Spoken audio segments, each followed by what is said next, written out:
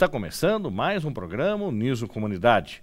Hoje estamos recebendo a coordenadora do curso de enfermagem, a professora Miriam Silveira. Como de praxe no nosso programa, a gente conhece um pouco mais o perfil do nosso entrevistado.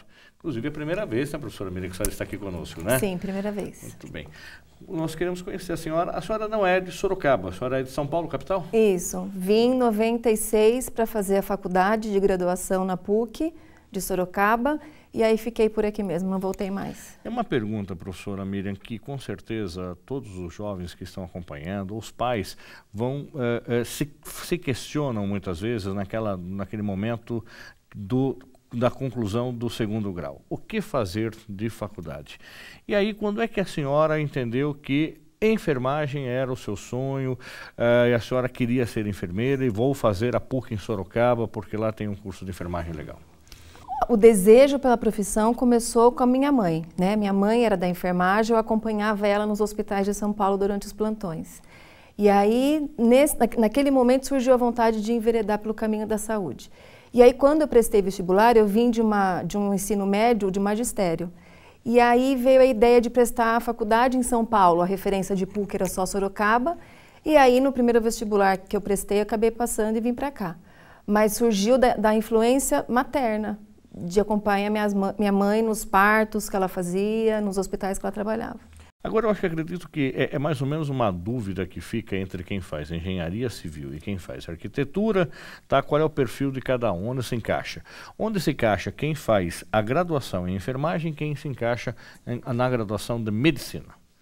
Muitas vezes não se consegue passar em medicina, faz enfermagem para depois mudar, ou parece que está fazendo enfermagem, mas não está feliz Frustrado. porque quer ser medicina. É. Acaba acontecendo isso? Muito. A gente tem muitos alunos que ingressam aqui é, frustrados porque não passaram no vestibular de medicina. A senhora já fala, pare porque não vai ser feliz. Não né? vai, né? não vai. E a gente tem várias desistências por conta disso, porque não dá para iludir o aluno que é semelhante, não é. Tá. Né? A gente tem hoje quase o mesmo tempo de formação básica. Então, hoje o médico tem seis anos de graduação e o enfermeiro tem cinco anos.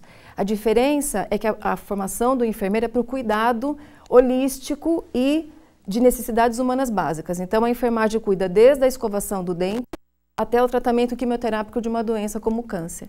Então, a nossa amplitude de assistência é no cuidado voltado para a necessidade humana básica desse paciente. E o médico tem um olhar mais para a doença, para o tratamento que ele vai fazer com a doença. Então, são caminhos totalmente diferentes, mas que se interagem, porque um trabalho né, soma com o outro. Então, hoje a gente fala muito da assistência multiprofissional. Nenhuma categoria faz assistência sozinha. Né? A gente precisa juntar as, os conhecimentos para cada vez mais dar uma assistência mais ampla para o nosso usuário, para o nosso paciente. Então, são ações totalmente diferentes. Agora, professora, com relação também a essa característica da, da escolha da profissão, a senhora terminou a graduação e já começou a atuar no mercado de trabalho, a senhora fez estágio nos hospitais em Sorocaba, como é que foi? E aí até porque é, gostou na, da cidade e acabou ficando aqui e criando família aqui, como é que é? É, na verdade a gente, né, na formação da PUC a gente começa a ir para campo desde o primeiro ano. Então, acabou a faculdade, na verdade, você não escolhe, o emprego escolhe você. Então, a primeira oportunidade que surgiu foi para trabalhar na atenção básica, em Pilar do Sul. Peguei minha família e fui para Pilar do Sul trabalhar. Depois que eu retornei para Votorantim, que é onde eu tenho residência. Então, é, você acaba, depois de formada, vendo qual caminho, qual área você quer seguir, e aí depois que você foca na especialização e na pós-graduação de uma maneira geral. Mas muitos dos enfermeiros que se formam não sabem para onde vão ir. Né? O primeiro emprego, muitas vezes, é que direciona a escolha profissional, né? a escolha por qual caminho esse, esse aluno vai seguir.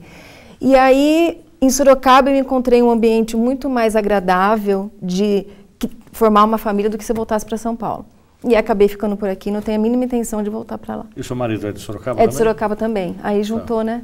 Muito bem. As duas coisas. Professora, daí a senhora faz curso de pós-graduação uh, como emerg na, em emergência pela Universidade de São Camilo, é isso? Isso. Tá, o, que é, o que é esta área de especialização em emergência? Essa área é onde forma o um enfermeiro emergencista. Então, ele tem habilitação para trabalhar tanto no atendimento de emergência e urgência pré-hospitalar como intra-hospitalar. Então, isso foi em 2003, porque eu fui convidada para trabalhar no pronto-socorro municipal de Sorocaba. E aí eu senti a necessidade de ampliar um pouco a minha formação e fui para São Paulo buscar essa especialização. Então, em 2003, eu me formei emergencista pela São Camilo. Ou seja, aquele, aquele, é a porta de entrada de um acidente, a porta de Exato. entrada de um infarto, a porta de entrada de qualquer agravo qualquer coisa, emergencial. Tá, é. é. ali que o enfermeiro também vai fazer a acolhida desse paciente. E todo o direcionamento do atendimento. Então, na sala de emergência, é sempre o enfermeiro que está liderando a equipe junto com o médico. É um trabalho conjunto. E é muito gratificante. Na sequência, depois a senhora faz outros cursos de aperfeiçoamento também? Fiz no Albert Einstein de doação de órgãos né, onde eu gerenciei, nesse mesmo hospital de Sorocaba, o serviço de doação de órgãos do hospital. Então, o Ministério da Saúde, ele patrocina bolsas de estudo para quem quer seguir a área da doação. Então, no Einstein, a gente tem esse privilégio. Então, eu fui para São Paulo, no Einstein, fazer a pós-graduação em doação de órgãos para trabalhar nesse ramo. Então, gerenciei o serviço por três anos de doação de órgãos nesse hospital de Sorocaba. E aí é, surge a titulação na, como mestre, mestre. E a senhora fez aqui na universidade Isso, mesmo. aqui na casa, de, em ciências farmacêuticas. É, foi em 2010 que a gente começou o projeto. Em 2013 veio o título. E a gente trabalhou com pacientes é, com psoríase. Foi um trabalho em cima de ações o que judiciais. São, que é psoríase? Psoríase é uma doença autoimune, inflamatória, de origem desconhecida, onde o paciente desenvolve o processo inflamatório na pele por conta de alguma válvula de escape. Então, alguns pacientes fazem essa reação por sistema nervoso, outros por algum outro tipo de fator que desencadeia. E a gente fez um trabalho com esses pacientes em 2010. E aí a senhora começa a lecionar quando? Em 2000. 2000. Me formei em 99, em 2000 a gente comecei a lecionar. Mas em cursos técnicos, para auxiliar, que na época a gente não tinha formação de técnico. Então, em 2000 eu comecei a docência. Nível universitário em 2005. E qual é a diferença, com certeza que muita gente pergunta também, do auxiliar de enfermagem, do técnico de enfermagem e do enfermeiro graduado, chamado enfermeiro padrão também? É, antigamente tinha esse título, hoje não tem mais, né? Hoje a gente trabalha com é, categorias na profissão.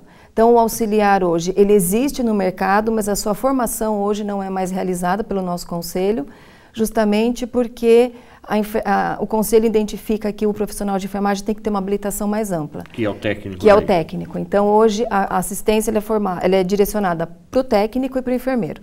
O técnico é de, é de, nível médio, então ele faz um curso. Ele sai do ensino médio e faz um curso técnico de um ano e, um ano e oito meses, aproximadamente. Ele pega o título dele de técnico e vai trabalhar na assistência. Quando esse profissional se forma técnico, muitas vezes ele busca, então, a graduação. Porque aí existe uma atribuição muito diferente do técnico para o enfermeiro. O enfermeiro, além da assistência, ele também tem a função de gerenciar a equipe, administrar o serviço de saúde. Então, muitos técnicos enveredam depois para a graduação justamente pela empatia com a área. Mas são ações diferentes, mas são ações conjuntas. Né? Um depende do outro para conseguir construir assistência para o paciente. Sem dúvida nenhuma, ambas são fundamentais, não tem ninguém que é mais importante. As duas categorias são de extrema importância. Mas a graduação é um, é um título que dá para o enfermeiro também a possibilidade de gerenciar um serviço. O que diferencia o curso de enfermagem da Uniso, por exemplo, para outros cursos de enfermagem? Como é que a senhora, de repente, ex-aluna da PUC, que é, vamos dizer assim, um curso concorrente hoje com a universidade, a senhora sentiu que, enquanto aluna, poderia fazer um curso melhor, mudar a matriz curricular, adaptar o curso para ele ser um curso de concorrência, mas também de excelência.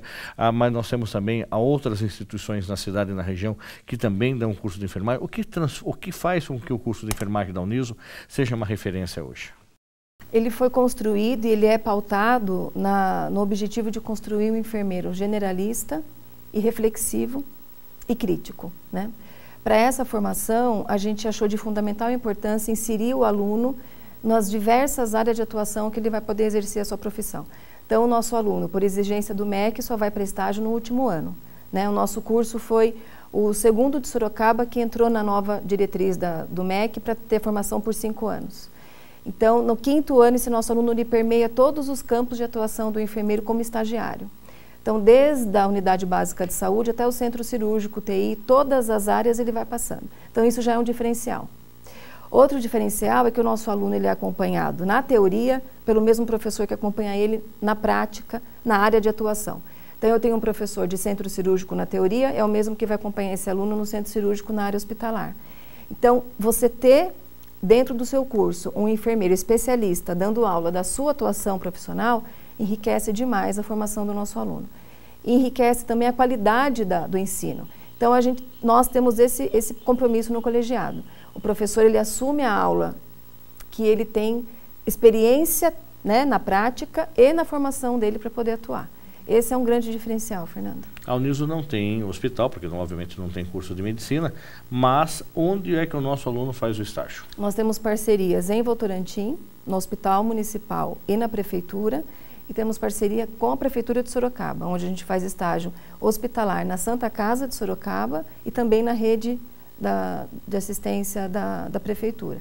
Então, nós temos dois hospitais parceiros que a gente faz estágio. A senhora já deu mais um ampassã, mas onde é a área de atuação do enfermeiro, mas gostaria que a senhora explicasse mais um pouco. Porque assim, eu termino o curso e vou para onde? Tudo bem que a senhora disse que no primeiro momento é o emprego até que acaba vindo buscar esse aluno e é aí que ele acaba se especializando. Mas a área de atuação, ele só, não trabalha só no hospital, é, o, o, enfermeiro não trabalha só no hospital. Não. não, onde é uma área de atuação, de repente, que muita gente até desconhece? Escola por escola. exemplo, escola, saúde na escola. Então, o nosso enfermeiro hoje ele pode, e a gente tem ex-alunos nossos, egressos, que trabalham hoje em escolas de Sorocaba fazendo saúde na escola com os alunos. Então, é uma área nobre, é uma área assim, diferente. Outra área nova é, é enfermeiro hiperbarista, onde é um enfermeiro especialista por tratar pacientes à base de oxigenoterapia. Extremamente recente essa, essa área para o enfermeiro além de todas as outras áreas. Então, eu tenho enfermeiro que pode atuar na atenção básica, como na atenção hospitalar, pré-hospitalar, intensivista, é, que faz é, ação na hemodinâmica, hemodiálise. Todas as áreas da assistência, o enfermeiro pode estar inserido como especialista. Então, ele tem uma gama de possibilidades, ele tem que ver qual ele mais né, se se identifica para seguir a especialização e a assistência. As empresas também, eles podem ou precisam ter um enfermeiro? Em que, em que, circunstância é isso? De acordo com o número de profissionais que tem na, na, na indústria ou na empresa. Então, mediante esse número, ele é exigido que ele tenha uma equipe de saúde lá dentro. E o enfermeiro faz parte dessa equipe. Então, hoje a Universidade de Sorocaba oferece até um curso de pós-graduação em segurança da enfermagem no trabalho onde o enfermeiro ele é habilitado para trabalhar nesse cenário, fazendo ou exercendo ou trabalhando na saúde desse trabalhador da firma ou da empresa. Aí ele dá um plantão, ele fica lá à disposição? Geralmente ele fica fixo durante seis horas do dia, oito horas 40 horas por tá, semana. Qualquer ocorrência que venha a acontecer na empresa, é ele Exato. quem faz essa Além dos periódicos, né? Ele trabalha junto com o médico na prevenção e promoção desses profissionais da firma ou da empresa. Agora, esses cursos que a senhora falou específico, eles são em nível de pós-graduação ou é um curso de extensão? Pós. Pós-graduação. Pós-graduação. Nós começamos esse ano os cursos de pós-graduação na saúde. E na enfermagem, esse ano nós abrimos enfermagem do trabalho, enfermagem geriatria e gerontologia, enfermagem UTI neopediátrica e enfermagem clínica médica. Então, dos seis cursos que nós ofertamos, quatro a gente conseguiu abrir. Então, nós temos cursos é, e alunos em andamento. Existe, por exemplo, obviamente o aluno, a Uniso já é, formou quantas turmas hoje? A senhora lembra? Três. Três turmas. Três. É, ele não, não consegue só emprego em Sorocaba e região, ou seja, o mundo está aberto à disposição Exato. dele. Inclusive, na nossa semana de enfermagem, que vai acontecer, nós vamos trazer dois, duas alunas egressas que estão inseridas no mercado, uma fazendo doutorado e outra inserida no mercado em São Paulo. Então, eles tem total possibilidade de explorar outras, né, outras regiões. Basta ele ter essa, né, essa vontade, porque campo de trabalho, Fernando, tem no Brasil inteiro. Basta o aluno estar disposto a isso. E a relação entre saúde e inclusão social também é uma atuação do profissional de enfermagem? É, é uma atuação do profissional de enfermagem, onde a gente tenta trabalhar a, a inserção e a manipulação né, dessas necessidades especiais, a gente pode chamar assim, dentro da atuação. Então, hoje, eu tenho muitos alunos com necessidade especial que, mesmo reconhecendo a sua limitação, eles finalizam a graduação e se inserem no mercado em alguma área que exija menos do físico dele, por exemplo. Mas mesmo assim eles atuam. Ele pode, por exemplo, se formar em enfermagem e ter uma atuação administrativa? É, administrativa pode. Tá. Na auditoria, na administração, tranquilamente. Pode. E como é feita também essa preparação dos alunos para lidarem com os pacientes? Porque é, não basta eu querer ser o enfermeiro, ou basta eu querer ser uma, fazer essa profissão. De repente, ele tem uma série de situações de emergência, por exemplo, tá? que ele eventualmente fala, não, a minha praia não é essa, eu vou fazer né, um Natal, que é mais tranquilo, mas de repente surge a emergência. É, e surge também uma necessidade onde ele precisa atender um paciente é, vítima de uma doença grave, que infelizmente é claro que vai levar ao óbito essa doença, mas ele precisa estar acompanhando. E, e, esse trabalho psicológico é muito grande dentro do curso? É, cada professor dentro da sua área, UTI neonatal, emergência, centro cirúrgico, é, saúde da mulher, num trabalho de parto, cada docente trabalha esse contexto com o aluno durante a disciplina. Quando esse mesmo professor vai com o aluno para o campo, ele faz essa relação da teoria com a, a prática. Nós temos, nós começamos o ano passado uma assistência com Unisaúde. A terapeuta ocupacional Lilian Zanoni, ela faz várias sessões de atenção a esses alunos do último ano que estão inseridos no estágio. Então, Fernanda, está sendo um trabalho riquíssimo. O aluno passa quatro horas por semana durante é, uma vez ao mês com a Lilian, para a Lilian tentar trabalhar essas dificuldades que ele tem, tanto do olhar para a morte, do olhar para o ferido, do olhar né, para o paciente e está tendo um resultado muito positivo. A gente começou esse trabalho e o resultado está sendo muito bom. Então, além desse trabalho com a terapia, a gente também tem o um trabalho com os professores que vão fazendo essa construção junto com os alunos. Recentemente nós tivemos aí o primeiro congresso de urgência e emergência da região sudeste, que a Uniso encampou também. Qual foi a importância desse congresso? Importantíssima. Foi a primeira da região, a gente nunca havia tido um congresso com esse enfoque aqui na nossa cidade, nem na região. É, é uma área extremamente problemática no mundo, né? Porque hoje a gente tem pacientes que não se cuidam direito na atenção básica e acabam agudizando o seu quadro, indo parar nas emergências. E a gente tem um cenário nacional, Fernando, que os nossos piores profissionais trabalham nas emergências porque o médico se forma onde ele vai dar plantão, na emergência. Diferente do cenário internacional, onde você tem os melhores profissionais nas portas. Se eu tiver bons profissionais na porta, esse paciente tem o seu problema resolvido rapidamente. Então, a intenção foi que a gente trouxesse profissionais de alto escalão para falar com muito conhecimento de como nós podemos trabalhar multiprofissional nessas, nesses setores de urgência e emergência. Tanto do atendimento pré-hospitalar, né, com a equipe da CCR, quanto com o intra-hospitalar, com todos os médicos e enfermeiros que vieram contribuir com o Congresso. Então é riquíssimo e é um momento de, foi um momento de muita reflexão, porque a gente não tem esse encontro é, na nossa região há muito tempo. A senhora falou que o curso tem duração de cinco anos. Ele é disponibilizado para o estudante no período matutino ou, de, ou noturno? Os dois. Hoje nós temos é, os turnos é, Dia e noite Dia é a opção do aluno daí. Exatamente. Normalmente esse, esse aluno que até vem fazer a graduação, você falou que muitas vezes ele é, ele é técnico, né? ou seja, ele estuda de manhã e trabalha já num outro período. Ele, como aluno de enfermagem, ele não pode fazer estágio antes de chegar no quinto período, é não. isso? No quinto ano? No quinto ano, não, mas ele tem, a partir do quinto semestre, a possibilidade de fazer estágio remunerado. Então, vários hospitais recebem os nossos alunos, remuneram e esses alunos estão fazendo estágio. Não só o hospital, rede pública também está chamando. Então, esses nossos alunos têm a oportunidade de conhecer outra possibilidade de ação, mas sendo remunerados A partir do quinto semestre. A partir né? do quinto semestre. A gente tem bastante aluno fora fazendo estágio. Professora, quem quiser conversar com a senhora sobre enfermagem, sobre a atuação do profissional de enfermagem, sobre o curso de enfermagem da Uniso, qual é a forma mais fácil? Um Face, um e-mail, um telefone? O e-mail né, o e-mail miriam.silveira.prof.uniso.br e o telefone da coordenação, né, que é o 2101 7041. Todas as manhãs, praticamente, a gente está aqui na casa, à noite também, a total disposição para quem quiser conversar sobre o curso, conhecer as instalações da universidade né, que a gente tem o privilégio de trabalhar numa instituição que tem bastante recurso. Então, nós não trabalhamos só com a, os recursos que a gente tem no curso em específico, a gente permeia os outros espaços multiprofissionais da universidade. Então, a gente tem condição de oferecer para esse aluno um curso de boa, com boa formação e com boa é, adequação dos espaços e com boa construção mesmo da, da nossa matriz curricular. Muito obrigado pela sua participação no programa. Sucesso para a senhora na agradeço. coordenação do curso. Eu que agradeço. Obrigado, Fernando. Nós vamos para um rápido intervalo e voltamos já já com o Niso Comunidade. Não saia daí.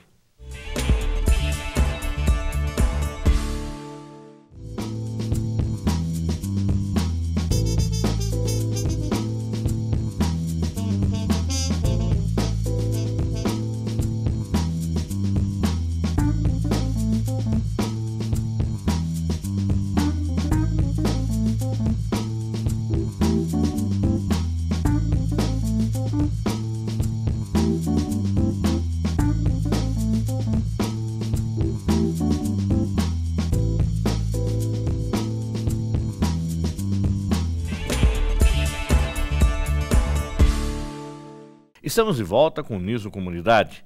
Nesse bloco, estamos recebendo a funcionária da Uniso, Carla Alcalá.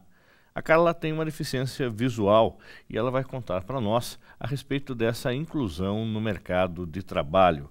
Carla, tudo bem com você? Tudo e você? Vamos começar falando dessa sua deficiência visual. O que ela é? é minha mãe ela teve toxoplasmose na gestação então, eu nasci com lesão na retina nos dois olhos. Então, o que sobrou disso é que hoje eu enxergo 10% com o olho direito e nada com o olho esquerdo. Eu estou usando lente de contato hoje. A minha lente ela tem 7,5 de miopia, mas eu teria miopia mesmo se minha mãe não tivesse doença na gestação.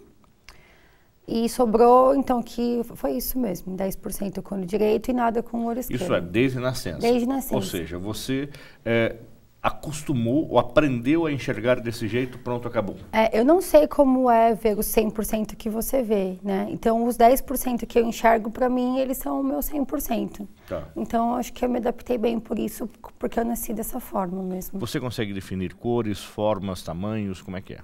Consigo. De longe, que tenho uma dificuldade maior de enxergar, mas eu acho muito curioso, talvez, é, como a forma que minha mãe me criou, talvez a minha personalidade mesmo, ou permitir desenvolver outras capacidades do cérebro, porque quem eu conheço eu enxergo de longe, por exemplo, e quem eu não conheço eu não sei nem se é homem ou se é mulher. Então eu tenho dificuldades assim para andar na rua à noite, para ler um texto com uma letra muito pequena, ou em lugares que eu nunca fui, vou pela primeira vez, então no primeiro momento existe aquela adaptação, mas quando eu preciso eu peço ajuda para alguém também. E dentro dessa sua limitação, nada te impediu de fazer uma graduação. Você já é graduada, formada em Ciências Sociais, é isso? Você não é de Sorocaba, né, Carla? Eu nasci em São Caetano do Sul, mas aí eu vim para Sorocaba com uns três anos, mais ou menos, de idade. Fiquei aqui até os 20, fui para São Paulo fazer faculdade, voltei e agora estou morando aqui em Sorocaba de novo. Aí você fez Ciências Sociais onde? Na PUC, em São Paulo. E aí, por que, que você volta para Sorocaba e, de repente, como é que surge a Uniso na sua vida? Então, eu me formei em Ciências Sociais. Eu sempre quis ser professora, desde sempre. Eu não sabia se eu ia ser professora de História ou professora de Sociologia. Eu escolhi ser professora de Sociologia. Aí me formei na PUC, só que quando eu me formei, a PUC tinha, tirou a licenciatura do curso. Então, eu formei bacharel, eu não podia dar aula de Sociologia. Aí eu arrumei um emprego numa empresa ótima para se trabalhar, assim, naquelas empresas que estão todo mês, no, todo ano na revista Exame, entre as melhores empresas para se trabalhar. Comecei a ter uma carreira bem sucedida, vamos colocar assim. Comecei a ganhar bastante dinheiro, só que eu sempre quis ser professora. Então comecei a ficar doente fisicamente, mentalmente, e aí resolvi abandonar tudo para fazer uma licenciatura. Foi uma decisão complicada no momento, complicada socialmente, porque existia aquela pressão, nossa, você tem uma boa carreira e você quer realmente ser professora? Eu falei, quero. Aí eu comecei a fazer história na Uniso para ter uma licenciatura. Aí consigo um emprego aqui. E a Uniso, ela ela tem um benefício para funcionário, que é uma bolsa de graduação e uma bolsa de pós-graduação. Então, eu pretendo entrar no mestrado ano que vem, então eu serei professora. Então, tudo vai dar certo, se Deus quiser. Muito bem. Você, dentro da Uniso, você está dentro da, da chamada cota de deficientes? Estou. Então, quando eu fui arrumar um emprego pela primeira vez, é, eu não sabia que era uma pessoa portadora de deficiência, pessoas com necessidades especiais. Eu sabia que eu tinha uma limitação, eu sabia que eu tinha uma dificuldade para ler, mas eu não sabia que eu me incluía nessa, que o meu CID, meu Código de, Internacional de Doença, que ele estava incluso na cota, né? Então eu fui trabalhar em lugares, assim, longe da minha casa, pagando ônibus sem estar na cota. Quando eu entrei na, na PUC para trabalhar pela primeira vez, a moça do RH falou: Nossa, Carla, você não paga ônibus. Aí eu falei: Nossa, você não paga ônibus? Ela: Não, você tem transporte público. Aí eu falei: Que interessante. Daí que eu fui pesquisar e descobri, assim, fui atrás dos meus direitos, vamos colocar assim, né? E aí fiz um bilhete especial para não pagar ônibus mesmo. E aí que eu entrei pela primeira vez na cota, né? Depois, na segunda empresa também, aqui na Uniso também. Isso te incomoda ou você acha que isso é um direito que não é só seu, mas deve ser respeitado, enquanto cientista social e enquanto portadora de deficiência? Isso não me incomoda, eu acho que realmente é, é um direito. Eu acho que a lei, ela facilitou muito, porque antigamente as pessoas elas não eram nem contratadas, né? Eu percebo que ainda existe uma adaptação cultural, social, porque hum, as vagas que existem ainda para as pessoas com deficiência são vagas é, assim com um salário mais baixo ou com alguns cargos ainda que as pessoas eu acho que ainda é considerado ainda existe esse estigma social que a pessoa com deficiência ela é incapaz então eu percebo muito quando eu entro na empresa principalmente o primeiro momento que as pessoas ainda não sabem é, o que eu faço ou como que eu ajo que ainda tem essa dificuldade de adaptação mas eu entendo que é um processo também, né? Eu vejo como uma conquista já os 5% que é obrigatório para ser contratado pessoas com deficiências, mas acho que a gente ainda tem muita coisa para mudar. Mas eu não, eu não, eu não vejo como uma, uma coisa ruim ou um incômodo, porque se é direito meu, eu tenho que estar inclusa, né? E então é um processo de adaptação que acho que com o tempo ainda a gente vai conquistando você, quando criança, em algum momento, você, por causa da eventual dificuldade de enxergar, apesar que você disse, você nasceu com essa deficiência, então você acostumou a enxergar desse jeito, para você isso era a sua referência. Você chegou a perceber, você sofreu algum preconceito, você te, eh, passou por bullying, você teve algum problema na, na, na infância, na adolescência ou não? Então, eu tive alguns problemas, assim, na escola. É... Porque quando eu vou ler, eu, eu coloco o livro de muito perto para leitura, né? Isso eu percebo que às vezes incomoda mais as pessoas que estão me vendo ler do que eu mesma. Como eu adaptei a ler de perto, não, não consegui me adaptar com lupa, por exemplo, ou com alguns materiais que hoje existem para facilitar a vida da pessoa com deficiência visual, né? Como desde sempre eu me adaptei à leitura de perto, então na escola as pessoas riam bastante, ou eu não queriam tomar lanche comigo, não queriam fazer trabalho comigo da escola. Na adolescência também existia aquela questão de brincar, né? De zoar. Hoje que as pessoas chamam de é bullying mesmo, né? É, naquele meu tempo não, não existia isso. Mas depois, com o tempo, eu fui percebendo que não era a minha questão visual, né? Que, as, que os adolescentes eles, eles brincam e às vezes exageram até mesmo nessas brincadeiras com todas as pessoas que são fora da normalidade, do que é o contexto de normal, né? Mas é uma reflexão muito importante para a gente fazer do que é normal do que não é, né? Tá, se é baixinho, se é gordinho, é, se é muito alto, isso, se é muito magro, enfim. Isso. Ainda bem que graças à minha criação, graças à minha percepção de vida, isso não interferiu no meu aprendizado, isso não interferiu na maneira que eu me coloco no mundo, mas eu observei depois de um tempo, que conheci outras pessoas também, que devido a este bullying na escola, isso teve, teve, tiveram interferências assim absurdas na vida da pessoa, né? E hoje você é preocupada com isso? Eventualmente você trabalha, é, se manifesta de alguma forma, quer seja pelas redes sociais, é, quer seja dentro do próprio mercado de trabalho, dentro da universidade. Você é, faz com que as pessoas notem, percebam e respeitam essas diferenças? Então, eu procuro, eu me considero uma pessoa ativista mesmo, em, to, em to, muitas causas. Eu acho que a gente precisa se colocar. Eu vou dar um exemplo muito simples. A gente tem uma escada ali no Saá, que é uma escada que não tinha aquela faixa amarela no chão. E nunca ninguém tinha havia sinalizado que não existia uma sinalização para aquela faixa e eu procurei sinalizar. Então, quando eu vou percebendo algumas coisas que eu acho que pode ajudar, não só a mim, mas outras pessoas, eu procuro sinalizar. A Uniso, ela tem um programa muito bom de inclusão. Quando eu preenchi a ficha de matrícula, quando você coloca na ficha que você é uma pessoa com deficiência, o Unisaúde te chama. Então, a Unisaúde me chamou para perguntar o que, que eu preciso para estudar. Então, a Unis hoje disponibiliza todas as apostilas ampliadas para mim. Na biblioteca tem um scanner que faz a leitura, você coloca e ele transforma em áudio, em braille, então eu acho isso ótimo. É, eu ainda acho que tem algumas coisas que podem, existem algumas sinalizações que ainda podem ser feitas, mas como eu te disse, é, é um processo, então é um trabalho que tem que ser feito com a comunidade, com a sociedade civil e aos poucos a gente vai conquistando as coisas. Independente dessa militância com relação à deficiência física ou essa dificuldade, uh, você tem outras militâncias também muito é, contundentes, né? Você hoje, inclusive, está fazendo mais um curso, você está fazendo gestão ambiental também.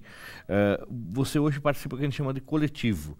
O que são esses coletivos e como é que é a sua militância nesses coletivos? Então, quando eu voltei para Sorocaba para fazer história, a minha irmã, ela trabalhava numa rede de segurança alimentar e nutricional em Botucatu, no Unesp de Botucatu.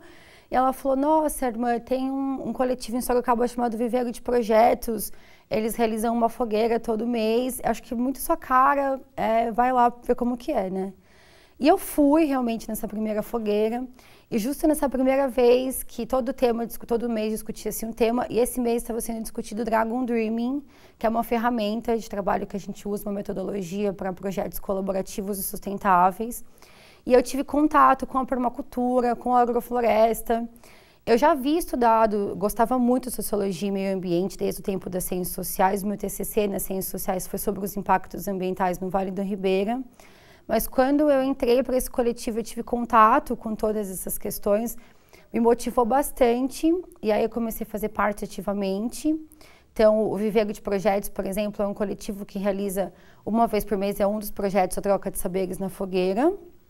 Literalmente e uma fogueira? É uma fogueira, e aí a gente discute um tema relacionado com o coletivo, que é permacultura, educação e sustentabilidade. Então a gente sempre escolhia um tema relacionado a um desses temas, convidava alguém de fora para puxar conversa. E no domingo de manhã a gente fazia alguma vivência ou alguma oficina relacionada com o tema da noite anterior. E durante essas fogueiras todas eu conheci o Helder e o Eduardo, que estavam fazendo um trabalho na Floresta Cultural Parque Três Meninos, aqui no Parque Três Meninos. E um dia eles falaram tanto dessa floresta e eu vi, vi, passei aqui um dia fui conhecer e é um lugar muito interessante que é uma área de preservação permanente dentro da cidade de Sorocaba, uma área com uma plantação, uma vegetação muito incrível dentro da cidade que a gente nem imagina que possa existir. E comecei a participar também ativamente da Floresta Cultural. Hoje a Floresta também se transformou, a gente pretende transformar numa uma ONG, futuramente no MOCIP, porque é uma área que é duas vezes o tamanho do Quinzinho de Barros. Então tem muita coisa para ser feita lá dentro. Essas duas pessoas, o Helder e o Eduardo, começaram cuidando e transformaram a, as trilhas, fizeram um caminho até o Mirante. E agora a gente trabalha com cinco eixos de comunicação, arte, cultura, saúde, manutenção, harmonização, para revitalizar aquela área e junto com a comunidade fazer um trabalho de educação ambiental também. Então é um fortalecimento de rede. É, é um processo também muito demorado porque a comunidade ela não sabia do potencial daquela região e aos poucos a gente está construindo uma horta comunitária lá dentro que também vai a creche da, da, do bairro vai usufruir, a comunidade também. Então, é um trabalho de educação ambiental muito forte. Eu pretendo seguir essa linha aqui na Uniso também no mestrado e em frente. É esse é um dos coletivos ou esse é o coletivo São dois. Trabalha? É o Viveiro de Projetos e o Floresta Cultural Parque Três Meninos. Tá, são esses dois que você Isso. explicou pra gente aí. Isso. Agora, a gente percebe, Carla, que muitas vezes as pessoas têm em, perto de sua casa, de repente, o potencial dessa natureza e não sabem. Agora, o coletivo, ele é um grupo que é uma ONG, o coletivo pertence a, a um órgão estatal, órgão governamental, a uma, uma, entidade privada, ou ele é um grupo de amigos que, que entram nesse trabalho e, se, e, e vivenciam essa atividade em prol dos outros? Isso. O coletivo, essencialmente, é um grupo de pessoas não governamentais, não é uma ONG porque não é institucionalizado, né? Mas é um grupo de pessoas que se reúne dentro de um propósito para fazer alguma coisa para a sociedade. Tá, não está ligado a nenhum clube de serviço, a nenhuma ordem, nenhuma igreja, não está ligado a, a, nenhum outro órgão. O Viveiro de Projetos e agora a Floresta Cultural trabalha com essa ferramenta colaborativa que eu disse que chama Dragon Dreaming E o Dragon Dreaming, ele trabalha muito o sonho coletivo. Então, não existe hierarquia, é um coletivo de centro vazio. Então, todas as pessoas colocam os seus sonhos e, a partir disso, a gente desenvolve um planejamento, uma execução de tarefas e a celebração de tarefas no fim, sempre juntos. A floresta cultural, a gente tem uma intenção de transformar, de institucionalizar e transformar numa ONG pela grandeza da região e pelo potencial que aquilo pode trazer para a sociedade mas normalmente os coletivos eles não têm ligação com o governo e nem com nenhuma, nenhum órgão da sociedade civil nesse sentido. Agora, o que, é esse Dragon Dreamer? O que, é esse? É, é, um software isso que, a, a, que agiliza, que você. O que, que esse software faz? É um software livre, um software free? Para mim, Dragon Dreamer parece nome de videogame. é uma ferramenta, uma metodologia para projetos colaborativos sustentáveis. Como é que a gente acessa? É, tem, tem páginas na internet. Foi criado por, pelo John Croft, que é um australiano. Ele usou como fundamento as tribos aborígenes da Austrália. Então, ele tem como fundamento três pilares, que é o cuidado com a terra, o fortalecimento de redes e o crescimento pessoal. Então, ele parte do pressuposto que todas as pessoas têm um sonho e como que a gente lida com esse sonho hoje na sociedade. Então ele questiona muito que as pessoas têm dificuldade de falar dos seus sonhos por preconceitos, até muito que as pessoas colocam, ah, essa pessoa é muito sonhadora, ela não executa. Então ele diz que a gente precisa, como os aborígenes da Austrália, colocar o nosso sonho e montar um time de sonhadores para que isso seja executado. Então a gente se junta com pessoas que têm o mesmo propósito, todas as pessoas colocam esses sonhos e é feito um tabuleiro de atividades. Então, são quatro etapas que são desenvolvidas no Dragon Dreaming, que é o sonhar, o planejar, o executar e o celebrar. E ele coloca que, diferente das outras ferramentas, existe a celebração, que normalmente quando a gente está dentro de um projeto e a gente não celebra, a gente se desmotiva ou a gente perde essa conexão com o nosso sonho. Então, em todas as etapas, ele coloca sempre essa importância de além da, do planejamento e da execução, a gente celebrar para a gente se reconectar com o nosso sonho. Então, o Viveiro de Projetos é um grupo de pessoas que têm o mesmo propósito e o mesmo sonho. Aí que entra a fogueira na celebração? Aí, a, o, a, a, a, fogueira é um, é um encontro de celebração.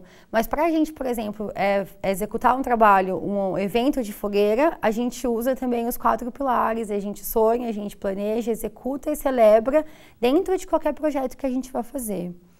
Então, realmente, a fogueira é mesmo um projeto de, ce de celebração. Existe o porquê do fogo, que também é sagrado, e o círculo em volta do fogo também. Também sempre, como eu digo, trazendo essa linha dos aborígenes da Austrália. E esse projeto, essa, essa ferramenta, ela tem sido desenvolvida no mundo todo. Ela foi testada em milhares de projetos e ela pode ser inserida em vários conte contextos, desde tribo indígenas até grandes empresas, por exemplo. Muito interessante, né? E aí também, dentro desses conceitos, desses projetos, você optou por ser vegetariana, é isso? Eu optei por ser vegetariana. O que isso é... implicou na sua vida? O que isso mudou? O que isso melhorou para você? Melhorou muitas coisas. Eu sempre tive vontade de ser vegetariana, mas existe uma, uma linha muito tênue entre o que te toca para isso, né? E é quando eu comecei a estudar sobre educação ambiental, agrofloresta, por uma cultura, e quando a gente começa a saber realmente como as coisas acontecem, a pecuária, por exemplo, ela é responsável por 51% do aquecimento global hoje. E pelo gastos de água, por exemplo, para ser construído, feito um hambúrguer nos Estados Unidos, a gente gasta 2.500 litros de água. Então eu comecei a me perguntar muito sobre essa questão do meu ativismo ambiental e daquilo que eu comia.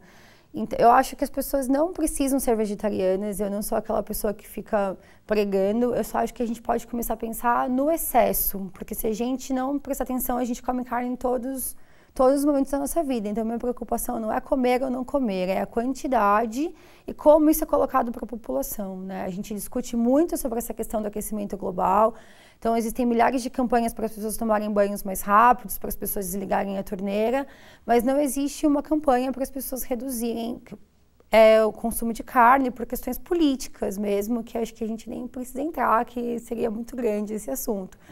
Mas acho que é interessante a gente começar a pensar é, naquilo que a gente come, como que a gente colabora com o meio ambiente de uma certa forma. O meio ambiente sou eu, é você, somos todos nós, né?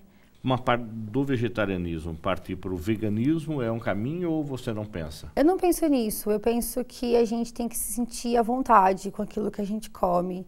É, eu apoio muito o veganismo, mas eu acho que é um processo natural e eu ainda não não estou preparada para isso, vamos colocar assim, né? Eu ainda como tomo leite, como ovo um pouco, mas ainda como.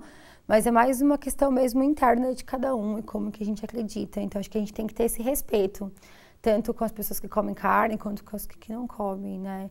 É muito complicado a gente ficar tentando é, colocar a minha, a minha percepção para que os outros sigam a minha percepção. Acho que a gente, através do exemplo e de outras atitudes, a gente pode fazer com que as pessoas reflitam, mesmo nesse excesso mesmo que é a produção de carne hoje no Brasil e no mundo, e no excesso que as pessoas comem, né? Para mim foi ótimo, eu me sinto muito melhor, a carne realmente me fazia muito mal, e eu me sinto muito bem, assim. Quem já está curtindo nossa conversa com relação a esses coletivos, a essas ações que você está atuando, independente de estar na Uniso, independente de estar fazendo história, gestão ambiental, enfim. Como é que faz para entrar em contato? A gente pode acessar pelo Facebook, né? O Viveiro de Projetos, é só colocar o Viveiro de Projetos, que encontra, adicione a gente. A Floresta Cultural também, é pelo Facebook é o caminho mais fácil. Aí se cadastra, também existe um site que é florestacultural.org, a gente pode se cadastrar e as pessoas podem ajudar da forma que elas quiserem, é só entrar em contato com a gente. Às vezes você não pode participar ativamente todos os dias ou todas as semanas, mas você pode colaborar como, como você preferir. Esse final de semana a gente conseguiu uma doação de 100 mudas da Igreja Santa Rita. E essas mudas serão plantadas no sábado, então a gente vai realizar um plantio coletivo das 8 às 12 aqui na, na, no Parque Três Meninos. Então, quem quiser participar e contribuir pode chegar e também. como é que, de repente, a comunidade começa a perceber a importância de, de, dessa própria floresta daí? Ela não sabia disso, vocês vão bater de porta em porta, vocês põem um anúncio no supermercadinho do bairro, no bar do bairro, na, na padaria, é, vocês fazem algum chamado de carro de som. Como é que a população começa a perceber é, é, e, e discutir essa importância do que existe na própria comunidade? É isso, isso é muito interessante, porque a comunidade começou a perceber a diferença da, do cuidado no local. Então, é, é, é, uma região que é um espaço que existe uma praça, e depois que você passa pela praça, você entra na floresta. E aquela praça, ela estava muito abandonada, sempre as pessoas jogavam entulho, jogavam lixo, as pessoas viam aquele lugar como pessoas que entravam apenas para usar drogas ou para fazer outras coisas, enfim. E com, com a revitalização, pouco a pouco, a comunidade começou a perceber a mudança natural daquela região.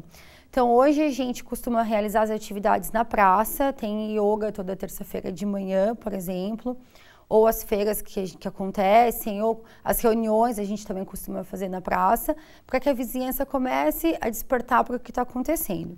Agora a gente vai realizar uma pesquisa com a vizinhança, justamente porque eu observei nos últimos tempos que tem muita gente que não sabia mesmo do que estava acontecendo. Então a gente vai começar a realizar uma pesquisa e através dessa pesquisa comunicar que a floresta existe e como que as pessoas podem interagir com elas, né? E vamos ver quais serão os resultados para a gente articular estratégias para que mais pessoas possam participar disso. E aí, em momento nenhum, a sua eventual deficiência visual te atrapalha, te incomoda, te limita a se deslocar da sua casa, chegar lá, sentar, contar, colaborar, fazer. Você não tem nenhuma dificuldade nisso? Olha, Fê, eu, eu estava até conversando com os meninos. A floresta, você imagina que é uma trilha no meio né, da mata. Então, nas primeiras vezes que eu fui, foi, foi realmente um pouco dificultoso. Mas depois, agora, depois que eu fui conhecendo o espaço, eu já me adaptei muito bem. A gente faz até trilha à noite, às vezes, a gente faz fogueira à noite no mirante. E sempre tem alguém para me ajudar, né? Eu consigo chegar até, até lá em cima e entrar e plantar e fazer todas as coisas. Mas se eu preciso de alguma coisa, os meninos ou as meninas sempre estão lá para me ajudar. Então, a locomoção na cidade, eu não tenho muita dificuldade porque tenho trans... eu não pago ônibus, eu tenho um bilhete único especial. Eu até poderia pedir aquele outro ônibus que a pessoa que a, prefeitura disponibiliza, que ela busca a pessoa com deficiência no local que ela precisa, mas eu acho que o meu meu cartão acho que já é suficiente. E para locomoção, não tenho nenhuma dificuldade. Hoje a gente também tem Uber, que facilitou bastante a minha vida, porque o táxi aqui em Sorocaba era muito caro. Tem que falar mesmo que era, porque é. E eu conto com a ajuda da minha família, dos meus amigos, para me locomover tranquilamente. E a sua vida social, independente de ser na escola, no trabalho, tá? Você vai. Quantos anos você tem, Carol? É 33. Tá. Você vai pra balada, você namora, você é, tem um relacionamento com um grupo de amigos, frequenta alguma igreja. Como é que é a sua vida social? Então, ultimamente, eu não tenho tido muita vida social, porque eu estou fazendo duas faculdades e integrada nos dois coletivos, então eu não tenho muito tempo de fazer muita coisa. Mas eu costumo sair, sim, fazer reunião em casa, ou mesmo gosto muito de dançar, sempre dancei forró e gafieira desde sempre. Então sempre que eu posso, eu vou saio para dançar, assim. E onde tem um bom forró e uma boa gafieira? Então, ultimamente eu sou uma boa pessoa para indicar, mas eu vou bastante no Depois, o Depois Body Art, que tem um som muito, um samba de raiz muito bom. E isso, basicamente, tendo lá só e tomando uma cerveja com os meus amigos, comendo algum lanche, uma pizza, alguma coisa assim, porque não tô tendo tempo mesmo. O tempo que eu tenho livre, eu tenho lido bastante, ou participado bastante ativamente da floresta com essa questão da pesquisa e de toda a estrutura que a gente está tentando montar e organizar mesmo para que se transforme mesmo numa ONG. Você falou de exemplo. Você se sente exemplo para alguém? Você já percebeu de repente, em algum momento, algum colega, algum amigo, alguém fala assim: Poxa vida, você me inspira, eh, você me traz assim, você me, me, fez refletir e olhar de forma diferente, quer seja nos coletivos, quer seja dentro da universidade. Tá? Esse, esse Dragon Dreamer que você falou me, me empolgou aqui, querer conhecer um pouco mais. Tá? Você já teve esse retorno de alguém chegar e falar isso para você? Eu já tive algumas pessoas que relataram, assim, é, agradeceram, né, pela, pela minha história de vida e que eu pude motivar outras pessoas, mas eu procuro não pensar muito nisso e fazer as coisas é, para minha evolução mesmo. Acho que quando a gente procura paz interna e a gente procura mudar as nossas atitudes para a gente ser mais feliz e vibrar amor para as pessoas, isso acontece naturalmente, né?